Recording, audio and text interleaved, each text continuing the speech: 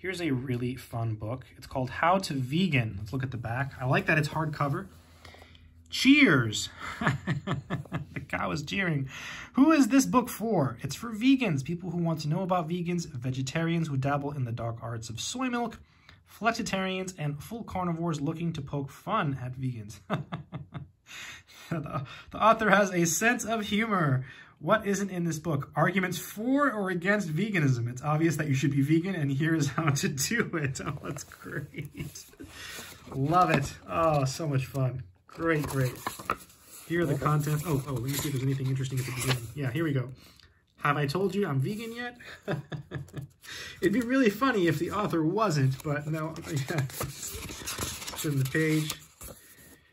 Being vegan, shopping vegan, eating vegan, milk, cheese, eggs, meat. Fun.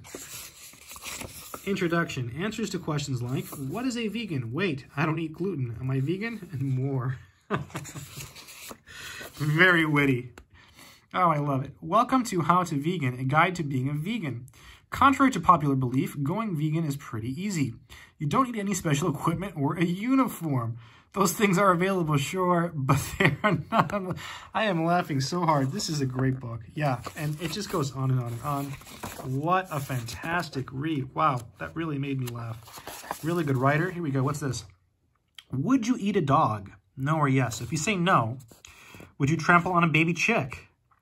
If you say no, would you suckle a goat? No, go vegan. Let's see. Would you eat a dog? So no, no, no. What happens if you say yes? Yes, that's odd. Maybe see a healthcare professional. Great book, How to Vegan. Totally recommend it. Take care.